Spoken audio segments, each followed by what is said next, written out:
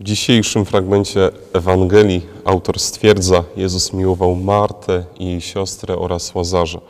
Na oznaczenie tej miłości jest użyty czasownik agapo, oznaczając miłość czynną, miłość, która przekłada się na działanie i komunikację życia.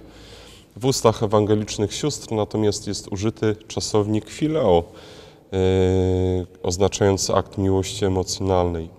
Ten sposób ewangelista wskazuje na Jezusa, który nie tylko czuje emocje miłości, on kocha, on kocha tych, którzy dzielą z nim swoje życie.